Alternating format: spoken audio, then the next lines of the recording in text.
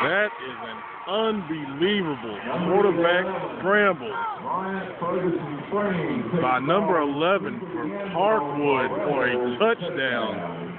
Oh my goodness, what a play. Parkwood cuts it to 21-12 with the extra point coming up. Five minutes left, third quarter.